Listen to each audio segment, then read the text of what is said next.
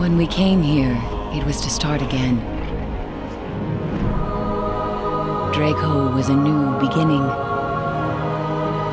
Draco was a second chance. But we discovered that Draco wouldn't be so easily settled.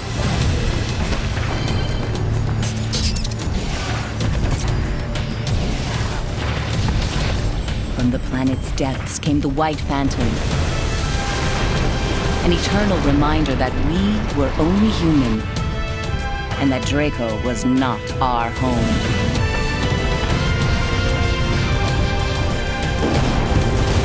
But this planet is the only home we have now, and we're not going down without a fight.